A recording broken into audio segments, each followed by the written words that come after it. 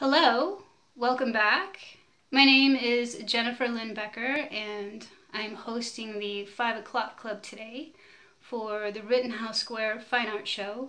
Um, we will be looking at the process, um, some of the materials I use in the watercolor botanical paintings that I do.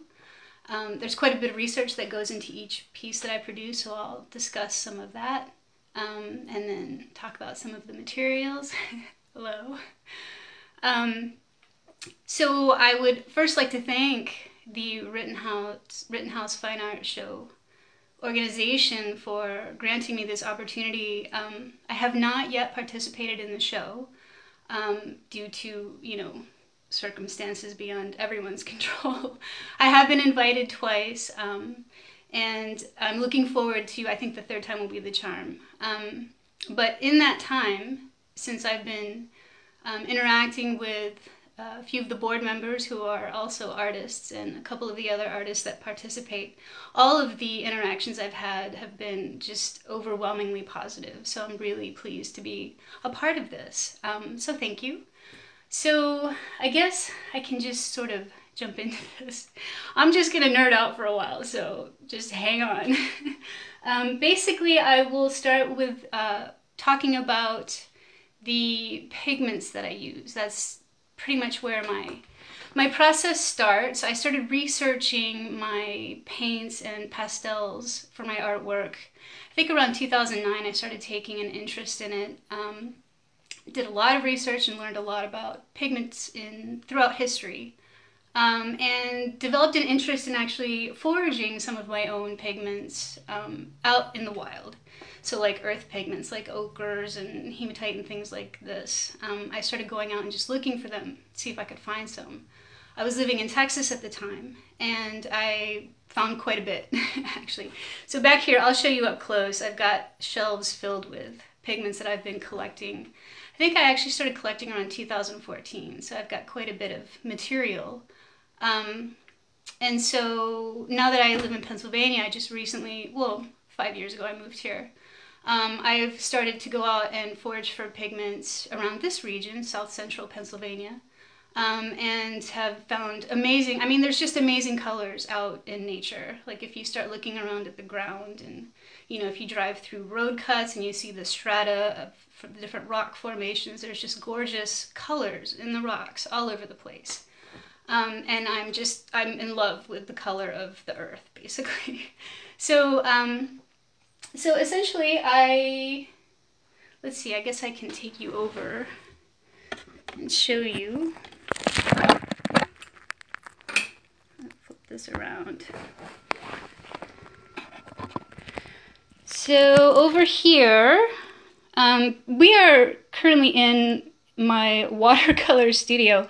This is actually an 80 year old farmhouse that I live in that I have pretty much repurposed um, every room in this house to suit my needs. So this was, I think, a dining area. It's now my watercolor studio because I need quite a large space to do my paintings, which tend to get pretty big. Um, so, is that backwards? I Can't tell. Anyway, so over here, this is kind of where I kind of do all the crazy stuff with the pigments. Um, so essentially I, I kind of go on drives and, you know, kind of get lost out in the world and find rocks that look interesting. Like here are a couple of pieces of hematite, which is a particular rock that I am absolutely in love with. Um, sometimes I'll find some brightly colored like ochres or just pure iron ore. Um, pretty much anything is fair game if it looks like it might I might be able to recover a strong uh, pigment and quite a bit of it. Sometimes uh, the color of the rock can fool you and you're not quite sure what you'll get. But I like the surprises. And some water. So anyway, um, I find these rocks and then I pound them up.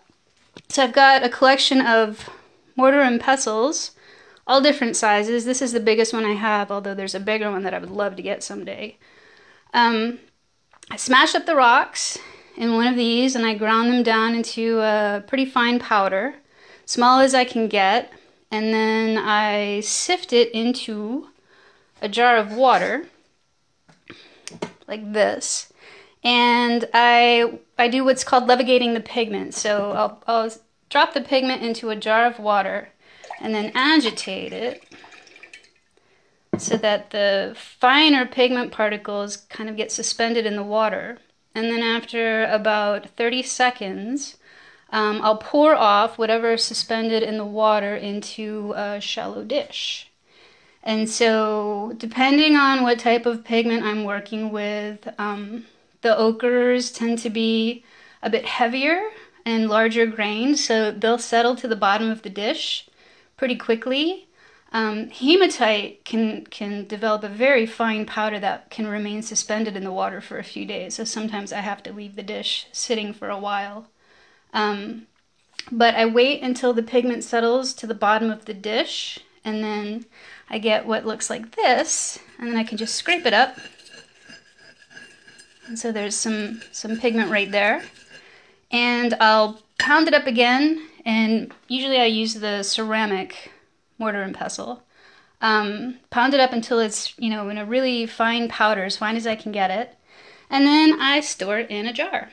So basically this is the collection I have of processed pigments. I have boxes of rocks, like like too many of them. I've just been collecting I, I generally scout um, and i will collect a small sample. So i don't like to take what i won't use. Um, so usually i'll go scout i'll pick up a few samples of something that looks usable and then i'll do a test and make sure it produces um, a really nice pigment. And if it does i'll go back out and collect some more you know but i, I try to be pretty frugal with with what i'm doing. So um, basically what I have here, the middle two shelves, you can see on the bottom shelf I've actually got, those are purchased powdered pigments. Um, the two center shelves here are all colors that I collected while I was living in Texas. So I was in Austin, and I used to make trips pretty much all around the Austin area. Um, there's some pretty amazing ochre deposits out there. And there's an incredible region called the Llano Uplift, which is one of the most geologically amazing regions, I think, in the world. It's just so rich. There's so much to see there.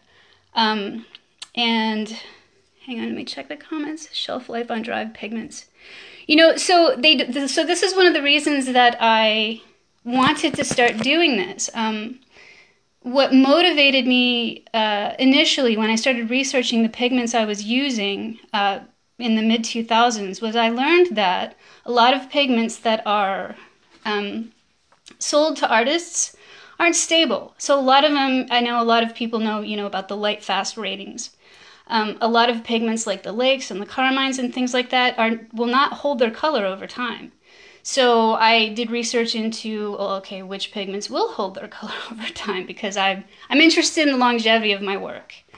Um, and so these natural earth pigments, anything that's like an iron oxide um, or like a green sand, anything that you recover from rocks will pretty much last for thousands of years. So like the old cave paintings that you see from like 40,000 years ago, those are like these colors, like these ochres. That's what they were using. So they'll last, you know, for thousands of years. um, and in the sunlight, you know, these rocks don't lose their their color if they're being baked by the sun. It's it's, it's one of the features of iron. It's really nice. So these will all be stable, and that's seriously like one of the primary reasons that I wanted to do this. I, I just want to make sure that what I'm using in my work will, will, will be that way, you know, for like centuries. so anyway, um, so yeah, so these shelves up here, these are all materials that I collected from Texas, and I got some really beautiful, you know, like yellow and orange ochres. These were all um, easy to recover because they were sort of like in a sandy matrix. So they were easy to kind of break down and just pull the pigment out with water. I was super fortunate to get this gorgeous violet. It's kind of hard to see in this lighting, but this is an actual violet ochre.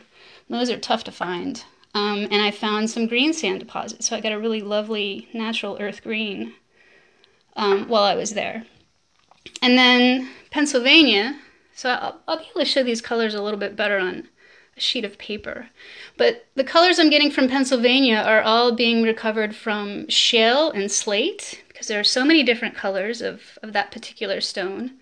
And I'm getting these really lovely, subtle hues. Uh, so they're like hues of gray. So there's like a, a, a rose tinted gray, a green tinted gray, some yellows. Um, and I did actually get oh, the hematites on the table. I'll show you that one in a minute. I have found some really nice softer hematites that um, are yielding this gorgeous violet brown color. So I was excited about that. Um, so that's basically where I am with the Pennsylvania colors. I've really only just started doing Pennsylvania over the past year. And then so I have these purchase pigments that initially I picked up just to do comparisons. For what I was collecting, I wanted to compare against what you could get from deposits in other countries. Some of these are from France, Italy, um, some from this country. Uh, and I do actually use the synthetics like the ultramarine, um, viridian, things like that, because you can't really get colors like that in nature that are stable. You can get them from dyes, like uh, from plant material or organic material, but they will not retain their color over time. So I avoid all organic pigments in my work. Um, so, so anyway, so scrape up the, the stuff at the bottom of the dish and you've got your pigment. And so this is I mean, there's just so much of this in my life, this kind of mess. A lot of jars where I'm just levigating a lot of different colors to check them out. And there's more stuff over on the other side. Um, and so I think that's all there is about that. Okay, so over here, I have a couple of different samples. So the reasons that I, so, you know, as I started doing this over the past I would say five or six years, this is this whole process has kind of evolved into something that I wasn't really expecting, but I really appreciate. So, um, so now it's more than just going out and finding cool colors in the world. It's about um, sort of a deeper process. So, uh, yes, it is. It's exactly the same process. You just add the oil to the dry pigment. So when I'm making the watercolors, um, Actually, yeah, I, actually, I forgot to mention that. So this is a glass muller. So when you're going to be making whatever medium that you're going to use, you'll use a glass sheet. I've got a large one, so I don't have it out here right now. And a glass muller, and you'll pour some of the pigment onto the glass sheet along with, with whatever vehicle you'll be using to create your material. So if you're using oil paints, you'll put your oils um, and mix those in with the pigment and you you know you use the muller and do like this ooh, this grinding motion to grind the pigment down and then mix it fully into the vehicle.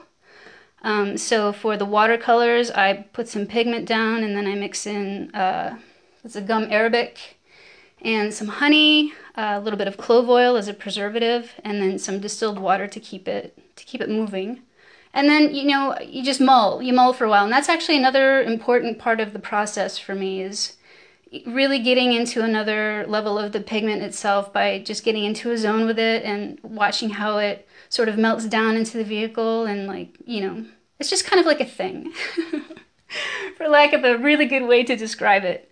Um, so anyway, yeah, any everybody starts with a dry pigment and then use your vehicle of choice, whatever medium you choose to paint in. I do the same with the pastels. Like I have to mull down the pigments into water before I mix those in with the pastel binders to, to make my uh, sticks of pastel. So, okay, so over here, um, these are a few of the samples that I've collected over the past few months. Um, so this particular rock looks completely unassuming. I mean, it's not even interesting at all. But when I I had a feeling about it, so when I when I smashed it down and uh, levigated the pigment out, I got this really gorgeous sort of yellow color. It's a little tricky to see right now. But I found this rock um, not far from this house, just down the hill from where I am, in a copse of trees. So there was like some native, there was some sycamore there, maple trees, a couple of oak trees, just all native trees to this region. And that is important to me for the actual watercolor botanical paintings that I do.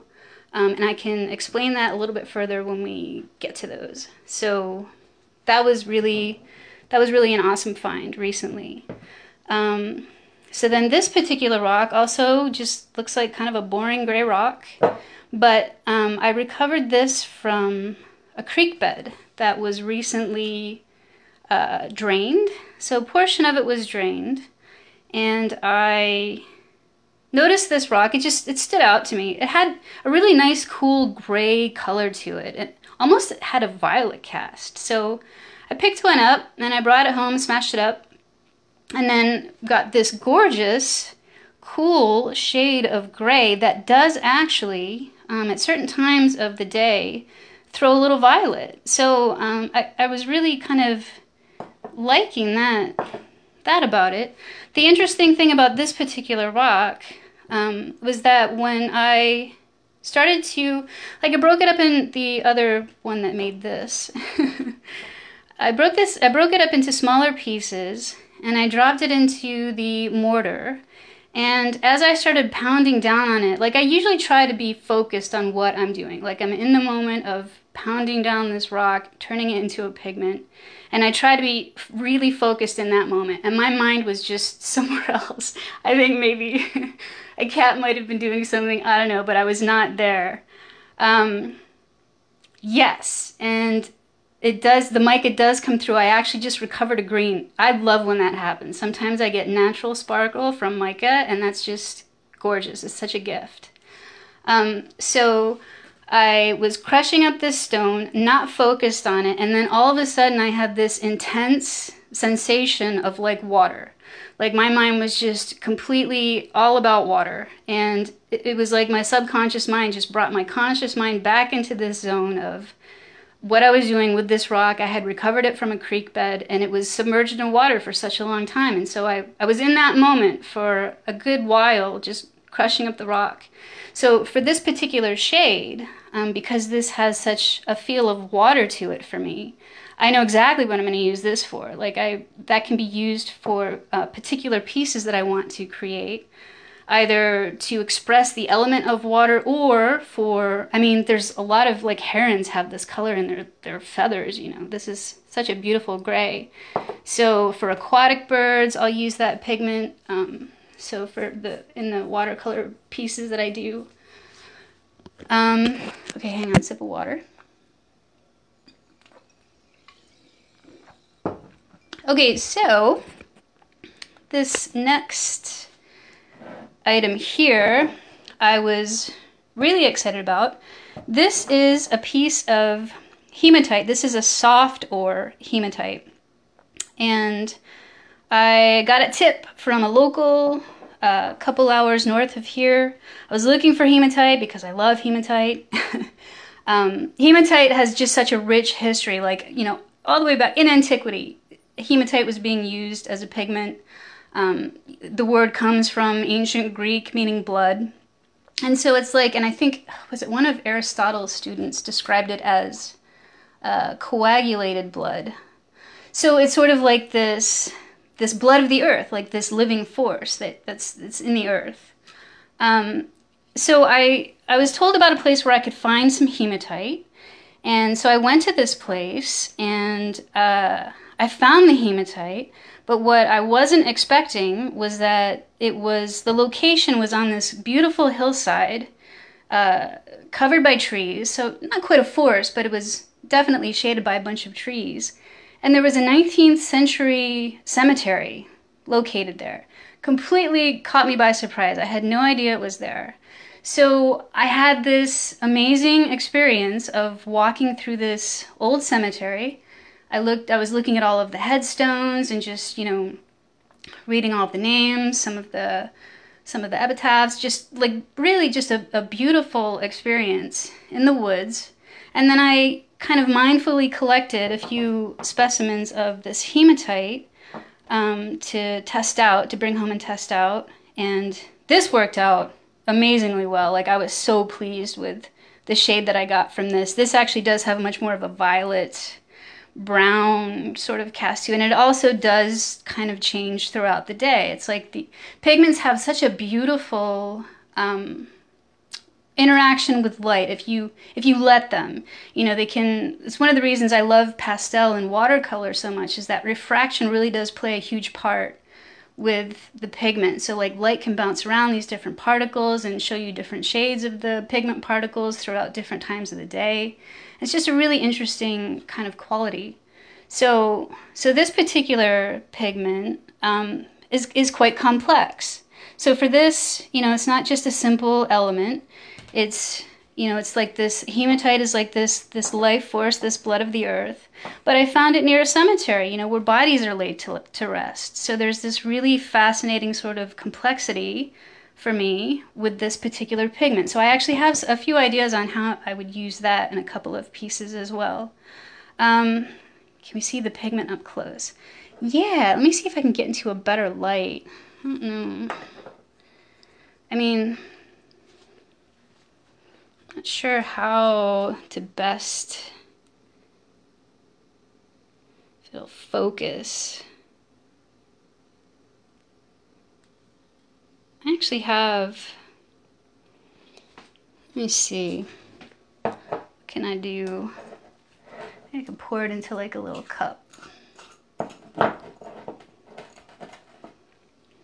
And here.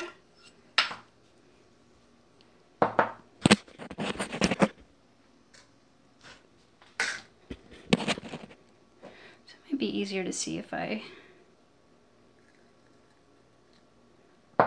So you won't get as much of the, the color, but that's basically what it looks like when it's all crushed up. And I can show you on a sheet of paper. I do tests, so I'll, I'll paint these onto paper to get an idea of what they're actually going to look like when I use them. Yeah, the purples are just gorgeous. I mean, I'll just, uh, I'll show you, I'll try and show some better samples um, of that coming through. So, so yeah, so that was that particular hematite, and so there's this whole sort of experience wrapped up in it, plus this complexity of just place and time. Um, and so that's awesome. And then I, you know, I, I just pulled out, like, this is actually a true hematite. So this is a soft hematite. It's a soft ore. When you have a piece of true hematite, it's got heft to it. It's kind of got some sharp edges. Um, this this stuff is harder than than iron, so I actually, I this is what I always try and find out in the wild. I love finding true hematite because you get such a gorgeous shade of red. It has such an incredible clarity to it that you can't really get from synthetic reds or the ochres. Um, but this stuff is so hard. So I have a sheet of, I think it's like AR500 steel for like target shooting. And a five pound hammer and I'll just go to town on these things. I mean, this is great for like therapy. Like if you're having a tough day, you know, smash up some rocks, like take it out on a couple of rocks. And I, I promise you will feel amazing afterward. Um, so I love finding stuff like this because it's gorgeous. Um, but so I do have, let's see, so I think this will be a pretty good so these are the colors I've been collecting in Pennsylvania. They are very subtle shades. Um, this is one of the most recent. It's a really gorgeous green. Uh, and then some grays. I'm really into grays right now. I like subtle, subtle hues of gray. Um, Smash Rocks, it's awesome. I can't recommend it enough. Um, so let's see, I've actually, I can show you some of the intensity of color. So these are like, this is what I got from Texas. You can get some really incredible colors that's that's a true hematite. That is such a gorgeous shade of red. I can't even, you have to see it in person. But that's from some green sand I found alongside of a highway. That's a pure yellow ochre. Um, that's a gorgeous shade of a brown hematite. Um, and so I just have like, this is my test test book. I'll mix I'll mix a lot of these shades in with white gouache just to get, you can get a lot of their um, undertones that way. So then you really start to see some of the purples come through and some beautiful rose shades. Again, just a gorgeous, gorgeous brown. Um, you know, and these are all, you just find these out in the world, like, you know, and just process them. I process them on my own and make a usable pigment out of them. But again, I just, I'm in love with these colors. They're just so beautiful. especially and especially when they have like when when it comes with a, a sense of time and purpose um, and just like these extra dimensions it's just it really adds for me uh, to the artworks that i create. Um, so okay so anyway i think that's it's just all going to be more of the same stuff. But oh yeah so this is one of the good pages. Um, do they have metallic qualities? I think so if by metallic you mean like a metallic um, finish or sheen to it, I think the closest you would get to like some kind of a metallic finish would be like with the mica. So I get sparkles from mica. Um, and other than that, it's really just most of the finishes are very matte. Um, there's no shine. Yeah, totally sparkly. The mica, it's natural mica in these, a lot of the rocks I recover. Um, so you get just gorgeous little natural sparkles from that. Um, and I really enjoy that. I actually just processed a green that I found not too, like, I think last week that had some natural mica, which surprised me. Um, so I was really, um, I always love to find mica in my stuff. It's just like, I like when it happens naturally, you know, it just feels like it's sort of like meant, meant to be there.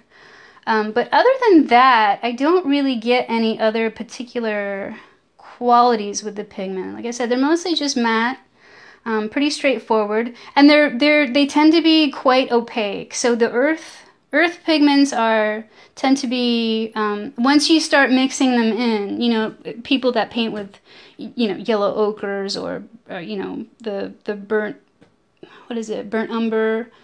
I think that's the more orangey one. Um, they tend to be pretty opaque um, some of them can be a little bit transparent, like the greens tend to go a, bit transparent. Um, but I can actually get some control over that when I mix it into the vehicles that I use. Um, so percentage of your time. Pigment prep versus painting.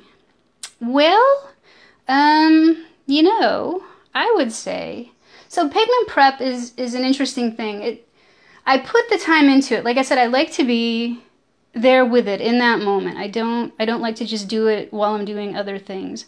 When it's, you know, when I'm smashing up the rocks, I'm there with it. It usually takes, I would say, uh, maybe 20 minutes to smash up enough rock um, to levigate in the water. When I levigate the pigment and then I let the pigment settle in the dish, that just happens. I just set it aside and wait for it to settle.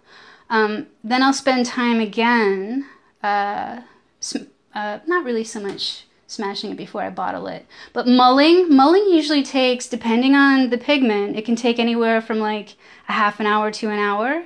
So that's like so another hour hour and 20 minutes for uh, pigment processing so overall it really doesn't take a lot of time work wise um, it's a lot of patience so it's not something that you're gonna be like you're not gonna go out and collect some rocks and have paint the next day like you just and to me that's actually one of the really enjoyable aspects of this. I love i love waiting for things you know i really like having that that payoff at the end after i've i've put so much work into something.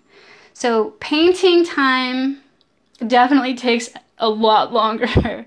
So in my large watercolors like there's probably at least 100 hours going into each one of those. I am super super detailed, like just completely OCD about the details that I'm painting. I use super fine brushes.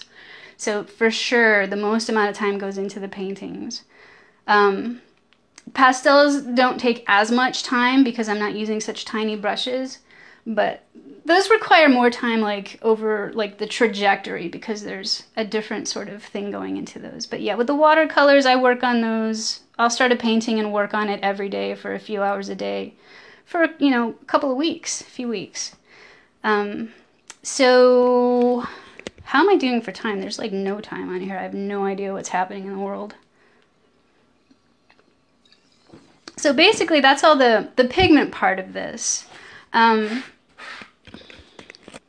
oh, so I didn't have. I wanted to show you um, some of the paints that I made, but I I've used them all. Like I burned through a bunch of them over the past couple of weeks just creating some stuff. These are some of the pastels I've made though. These are gorgeous to use. I mean, the application is just incredible. This is a really nice violet here. Okay. So I've only been doing this for 13 minutes, or I have 13 minutes left. I think it's only been 13 minutes. Um, but I will be, I'm doing another live, Facebook Live next week on Friday, I think at 2 p.m. for the actual virtual show for Rittenhouse. So I will have some actual prepared paints that I can show off then. Um, I'll, I'll be able to make them over the weekend. Mull- oh, 13 remaining. Wow. Okay. So mulling mulling the paints is not something that I like to rush through at all. I, I need to set a time, uh, set aside a time and space to do it properly. Um, so I didn't want to rush that just to have something to show today. So okay. So anyway, so we'll go on to the other thing I wanted to sort of discuss with the, you know, so I paint these these kind of large. Um, watercolor paintings. I think this one is like, I want to say 22 by 14 or something like that. Um, and I do get quite detailed um, with what I'm doing. And so the purpose of these works is to um, educate people.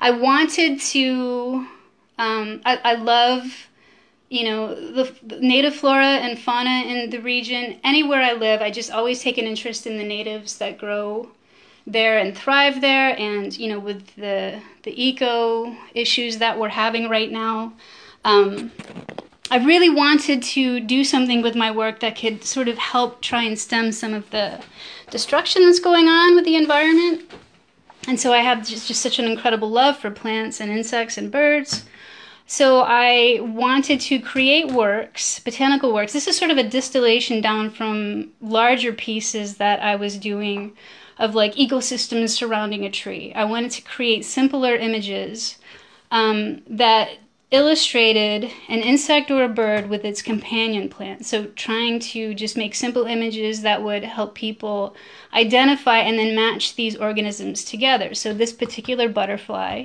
uses this particular violet as a host plant. Um, and so, you know, the same that I have over here with the monarch, it's the milkweed. And that's actually more of like a life cycle um, painting.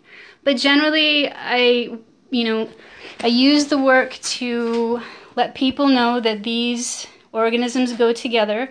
I focus a lot on endangered or threatened species to try and shine a light on those. Um, and I do an enormous amount of research on these. So I would say 50% of the work I do with the actual paintings is research. So I go online or I have books and I research all of the information about these organisms and then I, you know, I, I keep track of it. I record it and I share it with people. So I use the work to sort of um, just share information, you know, just let people know what's going on um, in the environment, encourage them to um, garden with native plants, you know, so you can attract native insects. Um, this particular fritillaria is gorgeous. Uh, this is native to the area, and I'm actually growing these violets in my yard right now. They're freaking beautiful. Um, I've done some bees. Uh, these are all native bees. This this actual bumblebee was, I think, the first insect on the the federal endangered species list.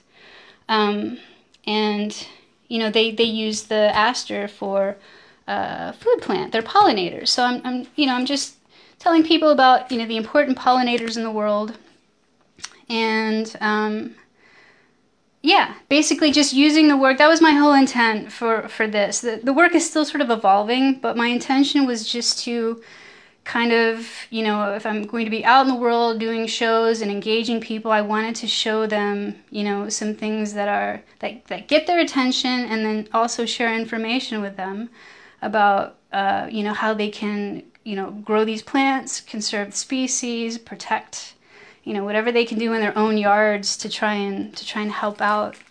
Um, so the work is evolving. I'll talk more about this next week.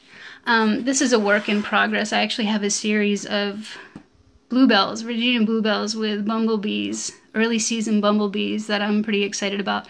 I'm mounting these on wood panels now, which I really, really like. Um, and then that evolved into something completely different. This is a new project for this year. I will talk more about this next week. Um, this is a, an actual you can tell, a piece of wood that has not been finished for any particular use, but this was part of my idea.